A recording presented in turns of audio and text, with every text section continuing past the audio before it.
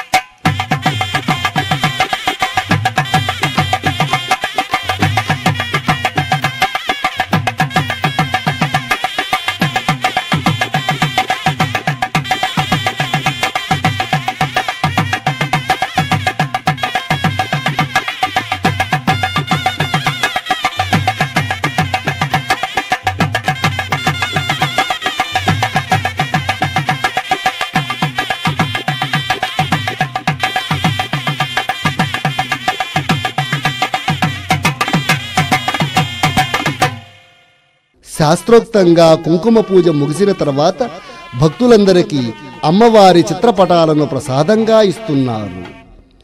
అమ్మవారి అచ్చారూపమైన ఈ వెండి విగ్రహానికి కుంకుమ పూజను వీరందరి తరపున పురోహితులు నిర్వహిస్తారు.